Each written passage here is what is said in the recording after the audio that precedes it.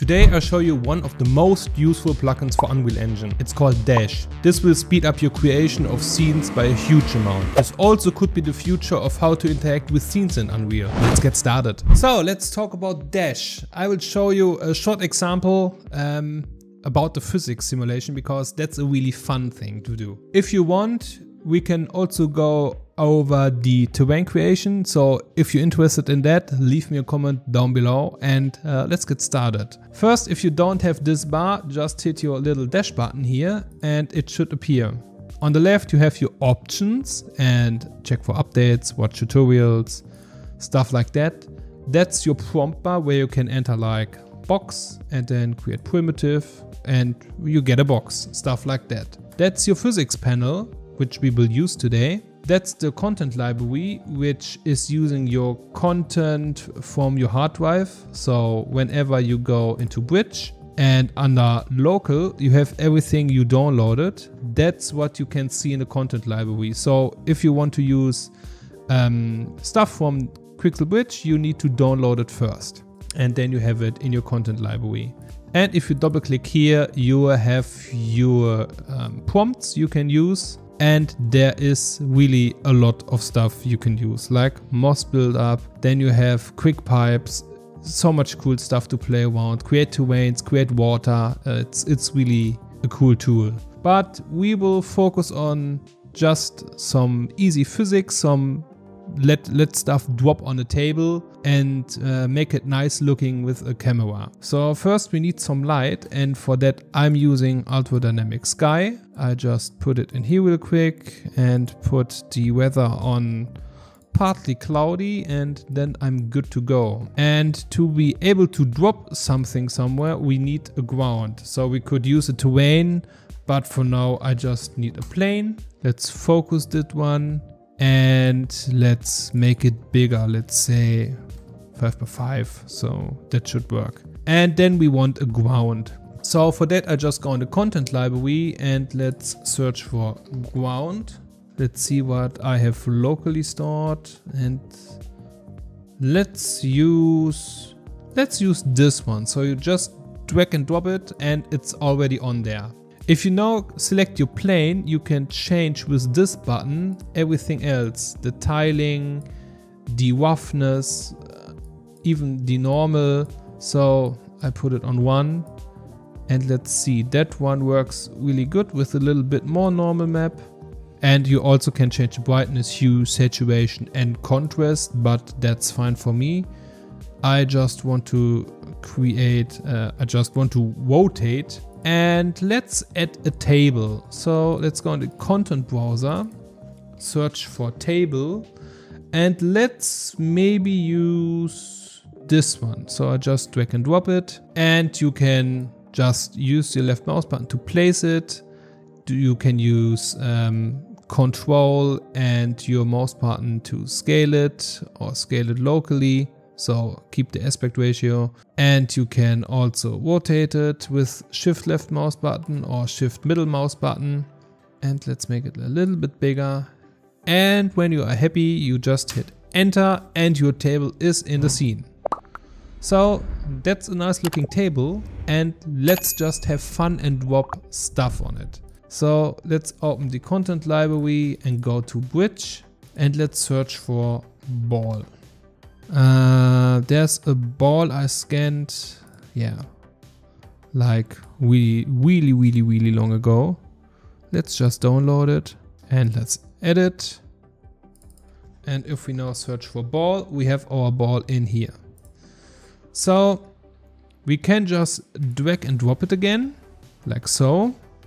Give it a second to compile, hit enter, and then we have our ball here, but it's not really bouncing anywhere. So let's delete it.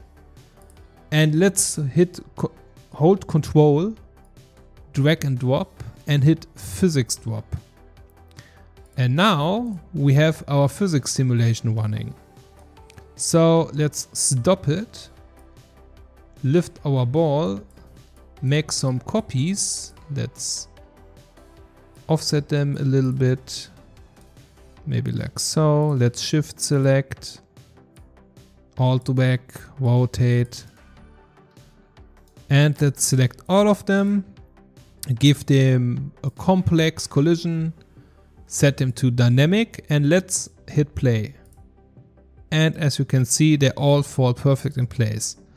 So we can still change the scene because the simulation is still running. We can now go ahead and push them around. So like we can push them from the table or we can stop the simulation, duplicate it a bunch of times and hit start again. And that's really, really awesome if you want to scatter stuff around in a scene. So let's remove these balls, maybe like so, and maybe let's add some some bolts like so. So I just hold control, physics drop, stop the simulation, and then I duplicate it a bunch of times and make a copy, rotate it, and I just shift select or I just search for my bolts. What's the bolt? And I just shift select them, complex, set dynamic and hit play and they perfectly fall into place like so. Well, that one looks a little bit off. Let's set it to dynamic. Okay, that one is just a little bit off. Let's lift it. Okay, maybe because the collision of the table isn't set to complex yeah, okay. So now they are all perfect. Keep in mind, complex is more intense um, in terms of calculation than simple, but I think it looks always a little bit better. Let's add something else. Let's see what we could add. Maybe, maybe we could add this one. So physics drop it. And let's see when we stop the simulation, if we can stack a few up of them. Let's shift select them all. Complex, set dynamic and hit play. Oh no, they all fell over.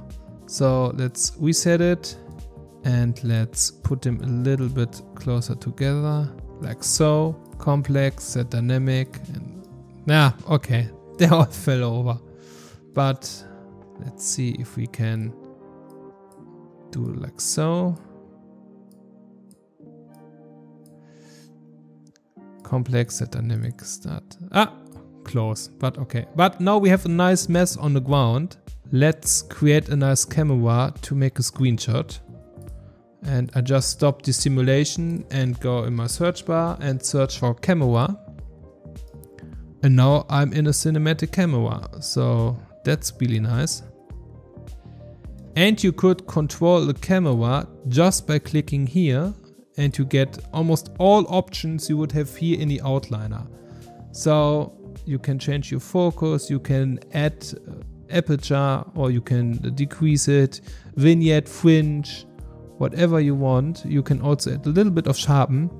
I still use it here because I have some um, set values I like to use.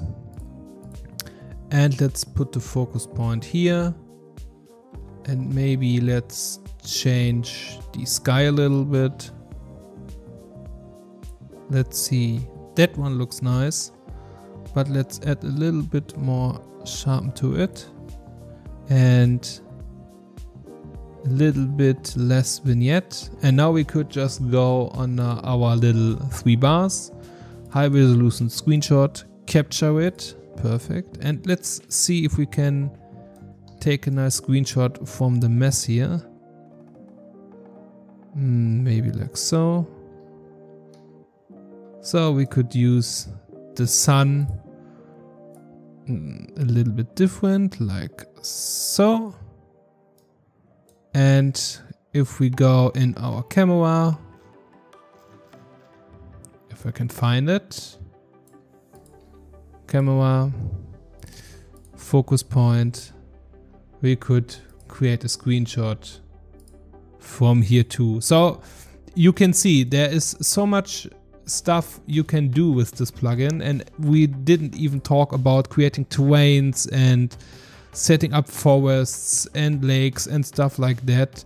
Leave me a comment uh, down below if you're interested in something like this. Maybe we could create a little series like creating environments based on simple concept art with Dash and Unreal Engine. I think that would be fun. And yeah, I think that could really be some kind of future for Unreal Engine. You don't have to use this whole cluttered interface. You can just use everything in full screen mode um, with Dash. So I think that's really, really promising and we are just um, scraping the surface at the moment. That's Dash for you. In the meantime, you really should check out this video where I teach you how to create a nice looking terrain shader because that's still useful even with the power of Dash.